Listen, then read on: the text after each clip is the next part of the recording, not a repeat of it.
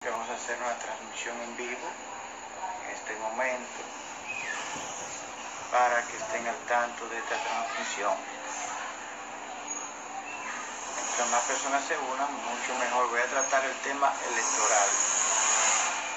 Vamos a tratar el tema electoral en la noche de hoy, en esta transmisión en vivo. Gracias a todos ustedes por la sintonía. Vamos a esperar que se agreguen más personas a la transmisión en vivo. Viernes 13 de marzo y solo faltan dos días para las elecciones municipales en todo el país.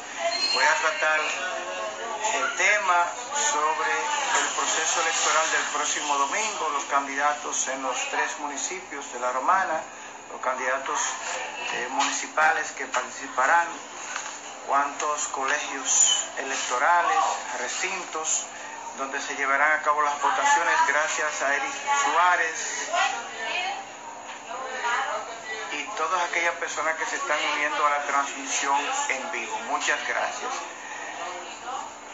Recuerden señores que el próximo domingo, eh, quien les habla, el periodista Franklin Cordero, quien está haciendo en este momento y le agradece a cada uno de ustedes su participación en esta, en esta transmisión en vivo a través de la red social de Instagram. Pueden encontrarme en Instagram como Franklin Cordero, así como en la red social de Twitter como Franklin Cordero. Gracias a todos por su sintonía. También nuestra cuenta de Facebook, Franklin Cordero Periodista, una cuenta verificada con la insignia azul de Facebook que pueden dar a seguir o me gusta Franklin Cordero Periodista, nuestra cuenta en Facebook. Señores, tenemos eh, hoy realizamos un recorrido en diferentes puntos de la ciudad.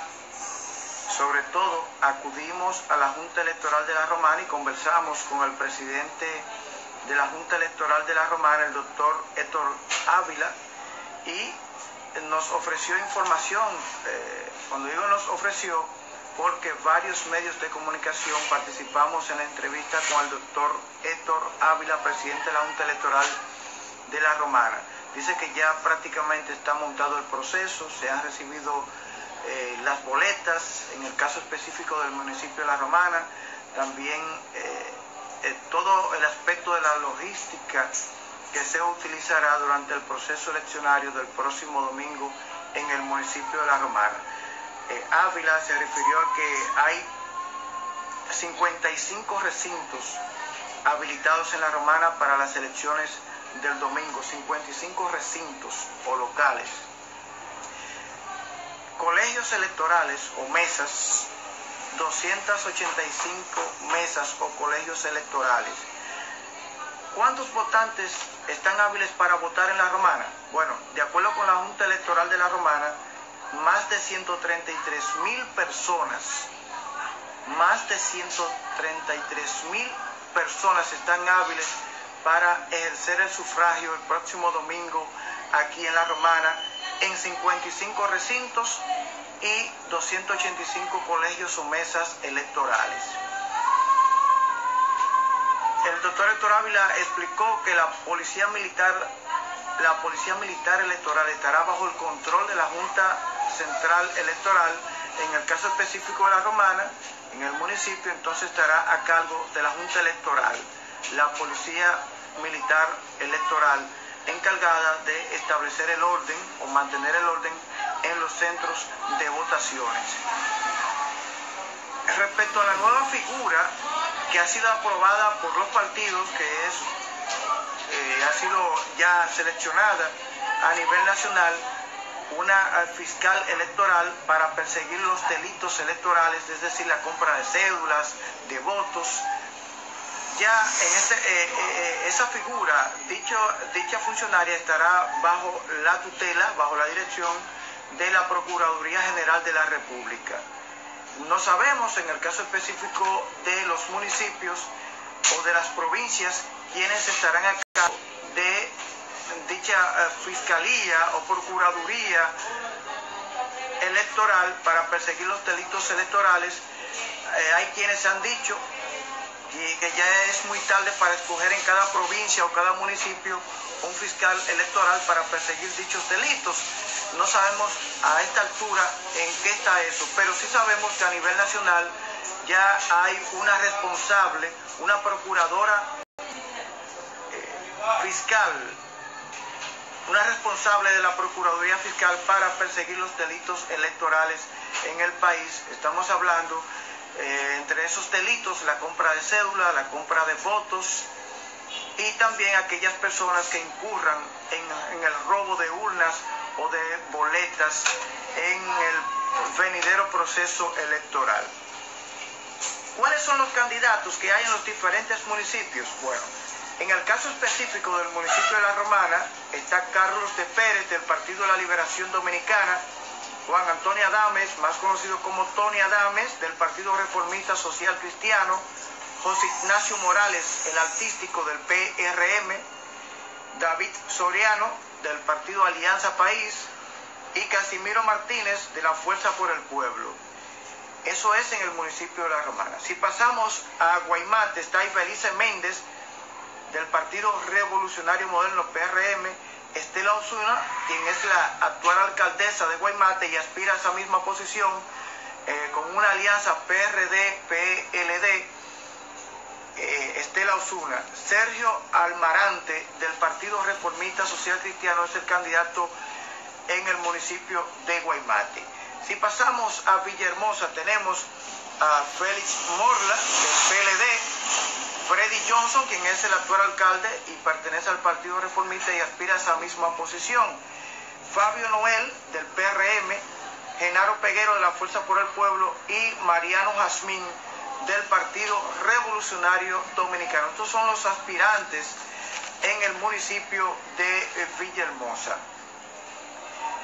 Eh, tenemos eh, que recordar, señores, que el presidente de la República, Danilo Medina, quien es el jefe del Ejecutivo, ha dispuesto a través de un decreto la suspensión de la docencia universitaria en las diferentes universidades del país,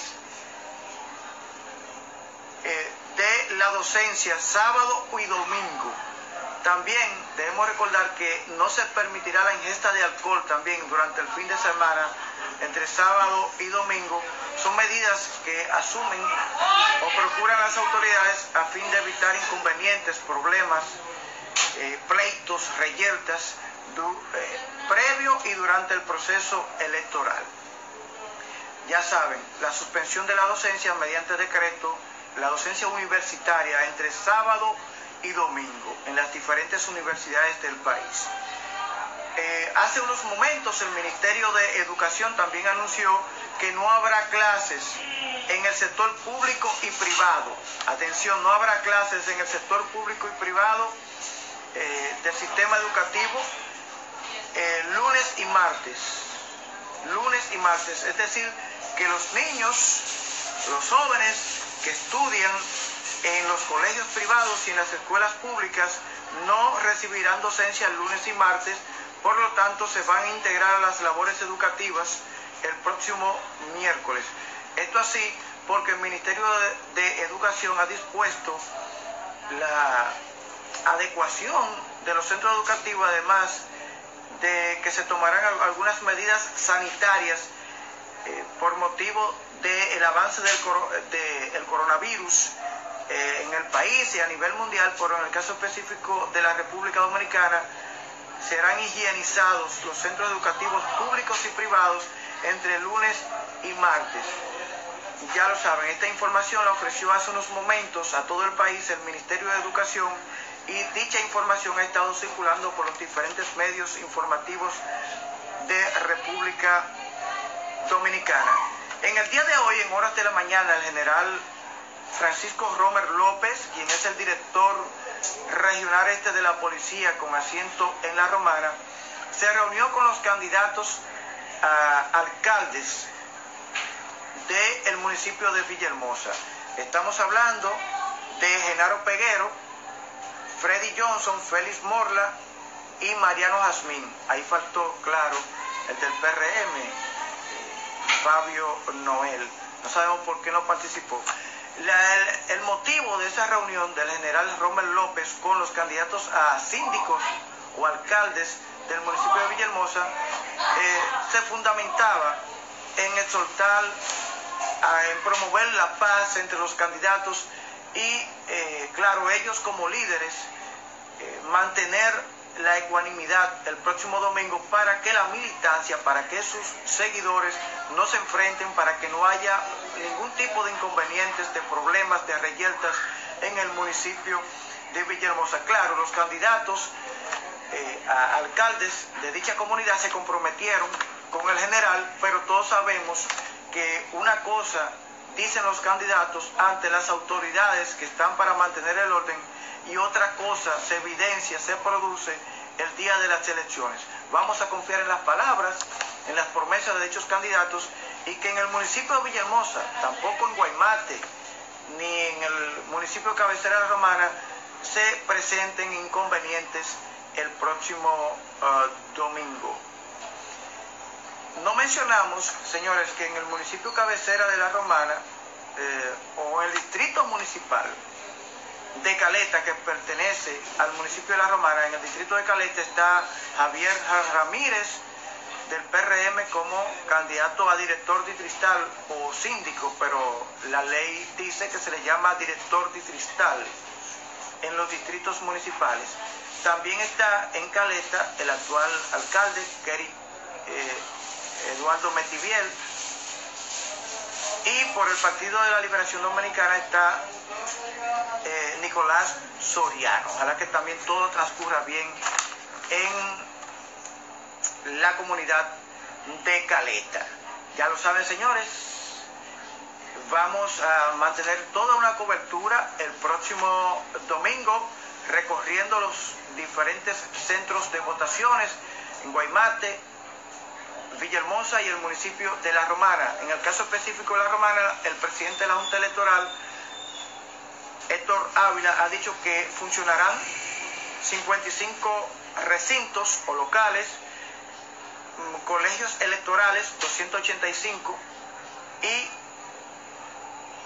más de 133 mil personas están hábiles para ejercer el voto en el municipio de La Romana.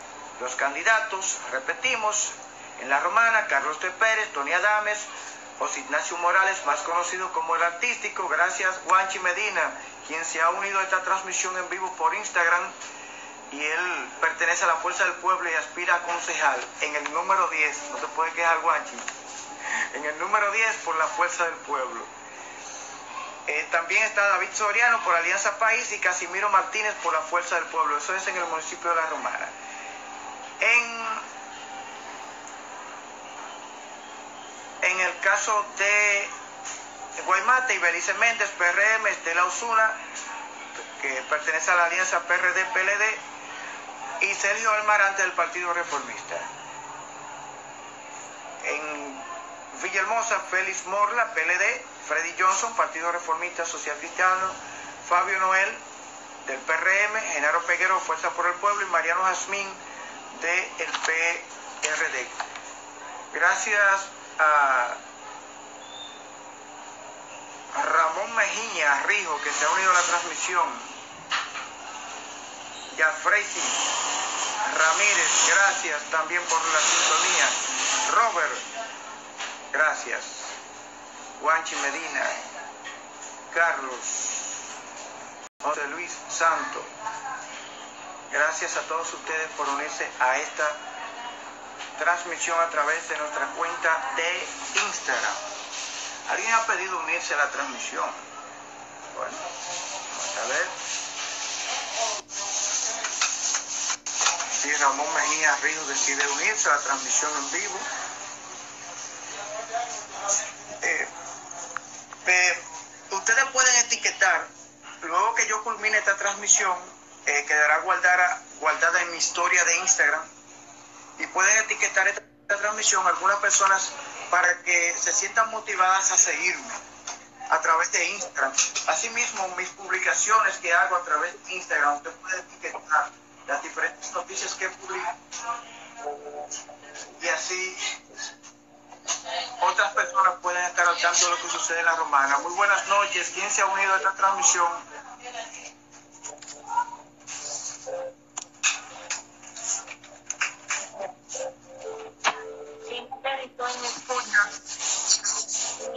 Buenas. No se ve, no se ve.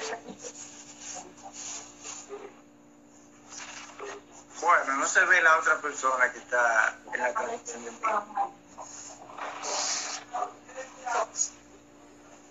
Bueno, gracias a todos que se han unido a esta emisión en directo.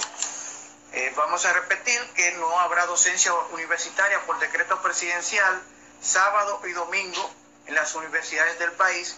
Eh, tampoco eh, habrá docencia luego de las elecciones en los centros educativos públicos y privados. No manden a sus niños ni jóvenes a, los colegios ni a las escuelas públicas porque no habrá docencia lunes ni martes. El miércoles sí, porque el Ministerio de Educación informó hace unos momentos que ha dispuesto la higienización de los centros educativos públicos y privados lunes y martes y entonces eh, todo, todo el mundo se integrará a la docencia el próximo miércoles. Sigan nuestra página de Facebook.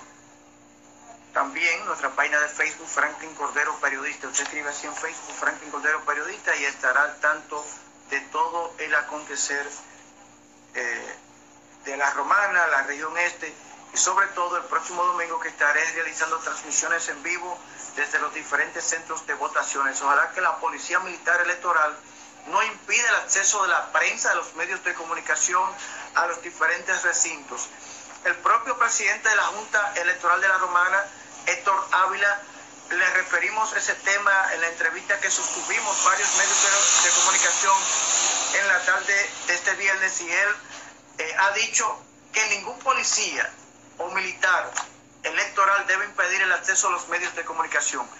Claro, eh, eh, hay ciertas limitaciones que tenemos los periodistas eh, por ejemplo, no podemos tomar imágenes del momento en que una persona está eh, ejerciendo el voto o que está haciendo su elección de eh, los diferentes candidatos, colocarnos con nuestras cámaras o celulares detrás de esas personas, pero sí uno puede ingresar a un centro de votaciones, tomar imágenes o fotografías de quienes estén en fila, también pararse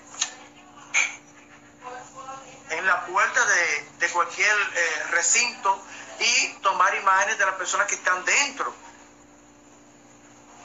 Pero no se puede limitar o no se debe limitar el papel de los medios de comunicación porque mientras más transparencia, mientras más información tenga la población, mejor decisión pueden tomar. Gracias a todos por su sintonía. Cuídense mucho, que Dios les bendiga. Franklin Cordero estuvo con ustedes.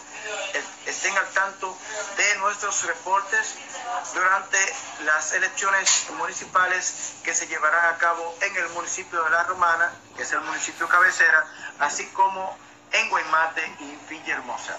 Gracias por la sintonía.